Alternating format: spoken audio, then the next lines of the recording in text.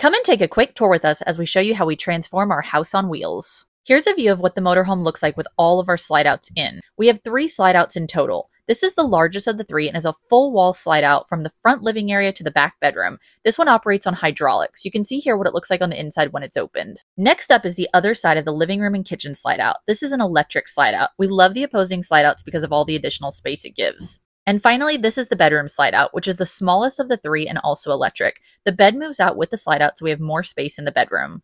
We love the layout of our new RV and all the extra living space. One of our favorite features is the flat level floors of all the slide outs. This was a big upgrade from our Super CRV. It makes it feel much more like a home to us. Be sure to follow us for more on RV life.